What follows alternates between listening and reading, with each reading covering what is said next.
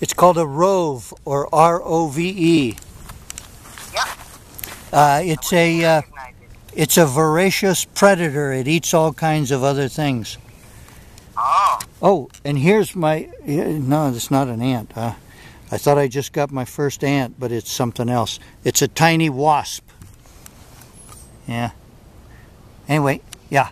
Uh, sorry, I, I got interrupted there. Oh no no.